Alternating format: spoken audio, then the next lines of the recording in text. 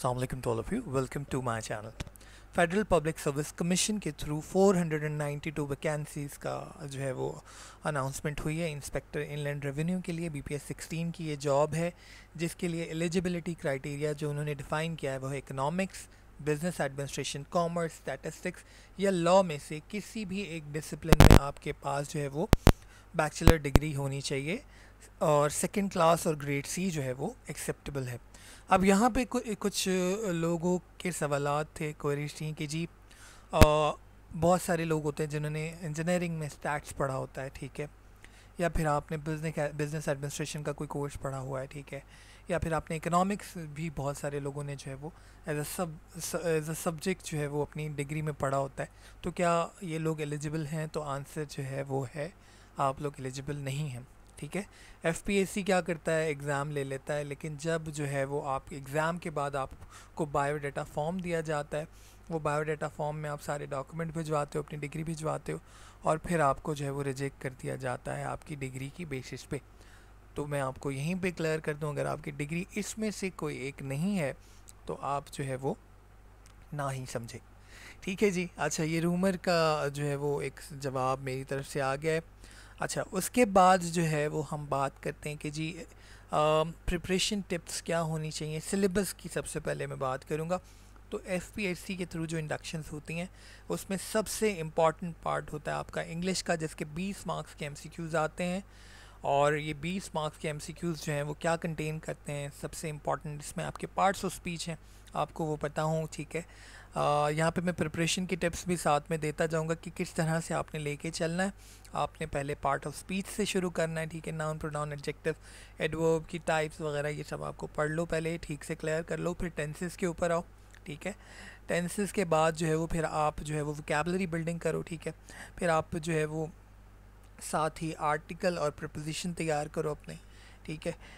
इन सबको जब आप तैयार कर लोगे तो फिर आपका आएगा सेंटेंस करेक्शन यानी जब सेंटेंस करेक्शन पूछा जाता है तो उसमें वो इन तमाम चीज़ों में से कोई एक एरर दे रहा होता है। तो जब आप ये बेसिक्स तैयार कर लोगे देन आपने सेंटेंस करेक्शन तैयार करना है, क्योंकि सेंटेंस करेक्शन अक्सर पूछ लिया जाता है, ठीक है? फिर जो सेकंड मोस्ट इंपॉर्टेंट चीज़ है, वो आपकी यहाँ पे आ जाती है। वोकेबलरी ठीक है? क्योंकि वर्ड अप्रोप्रिएट वर्ड यूज़ करने होते हैं, ठीक है? कहीं पे जुमला दिया होगा, आपको अप्रोप्रिएट वर्ड यूज़ करने होंगे। देन प्रिपोजिशन जो है, वो काफ़ी ज़्यादा पूछ लिए जाते हैं आर्टिकल भी कभी कभी पूछ लिए जाते हैं।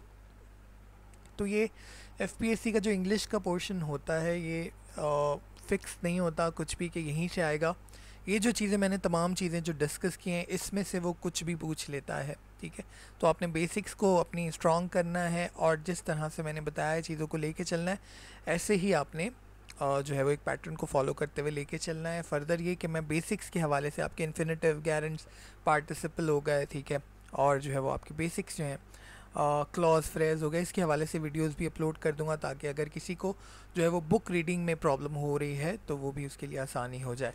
देन सेकंड जो आपका पार्ट है वो है पाकिस्तान अफेयर्स का।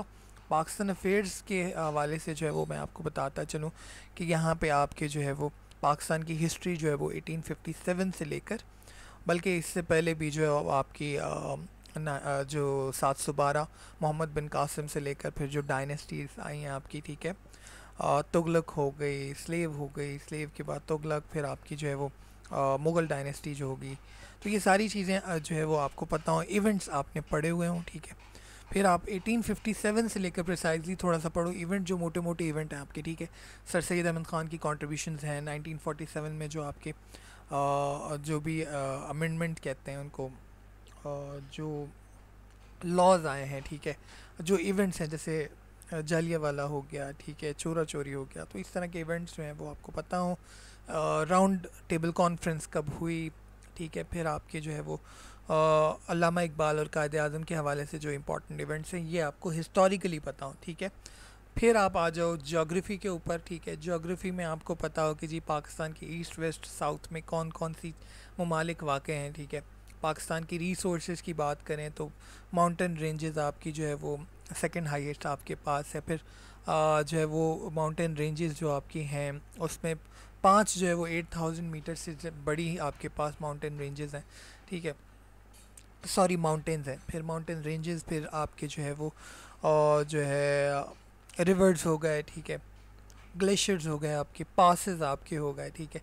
तो जोग्राफ़ी भी काफ़ी इंपॉर्टेंट पार्ट है, फिर आप जो है वो आ जाओ। करंट जो पाकिस्तान अफेयर्स हैं, उनके ऊपर कि जी कौन कौन से इंपॉर्टेंट इवेंट्स हुए पिछले दो सालों के अंदर, ठीक है। उसमें जैसे इमरान खान की स्पीच उठा लो, ठीक है। वो भी काफ़ी ज़्यादा प्रोमिनेंट हुई थी अपने अपने टाइम में फिर। जो पाकिस्तान और इंडिया के दरमियान जो कॉन्फ्लिक्ट हुआ, वो 25 फैब को जो है वो इनफिल्ट्रेशन उन्होंने करने की कोशिश की उनके।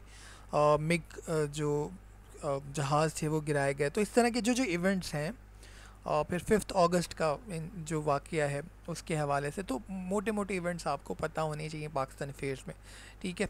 देन जो नेक्स्ट पार्ट है, वो आपका इस्लामिक स्टडीज़ है। इस्लामिक स्टडीज़ से जो है, वो आपसे पूछता है कि कुरान के हवाले से वो आपसे पूछेगा, जी, कुरान में कौन, कितनी सूरतें हैं? कौन कौन सी वर्ड्स हैं जो प्रॉफिट के नाम पे रखी गई हैं? मक्की कितनी है? मदनी कितनी है? कौन सी सूरत में ट्वाइस बिस्मिल्लाह आती है? कौन सी में बिस्मिल्लाह नहीं आती है? ठीक है। फिर कौन सी सूरत में किस हवाले से ज़िक्र किया गया? जंगों के हवाले से बैटल्स जो हैं, उनको आप देखो। हुजूर पाक सल्लल्लाहु वसल्लम की लाइफ को देखो। तो तीन मेजर अगर आप तो इसको डिवाइड करो, कुरान हो गया, सूरत, सीरत हो गई और फिर हुजूर पाक वसल्लम की लाइफ के हवाले से हो गया, ठीक है। तो फिर आप बैटल्स हो गई। तो इन तीन पार्ट्स में अगर आप डिवाइड करो तो इस्लामिक स्टडीज़ का काफ़ी अच्छा आपका पोर्शन निकल जाता है। फिर टाइटल्स के हवाले से पढ़ लो। कि जी कौन से साहब सहाबी को किस टाइटल से याद किया जाता था ठीक है? ये सारी चीज़ें इस्लामिक स्टडीज़ में और आपके जो हिस्टोरिकल इवेंट्स हैं। फिर आप आ जाओ करंट अफेयर्स के ऊपर तो आपको जो है वो करंट अफेयर्स में आपके प्रेसिडेंट प्राइम मिनिस्टर्स कैसे चेंज हो रहे हैं कहाँ पे कौन से प्रेसिडेंट हैं कौन सी पार्टी ने कहाँ पे जो है वो हुकूमत कायम की है। फिर आ, जैसे यूएस में इलेक्शन हुए थे तो वहाँ पे आपको पता होना चाहिए कि कितने जो है वो वोट लेकर जो बाइडन जो है वो कामयाब ठहराए गए थे।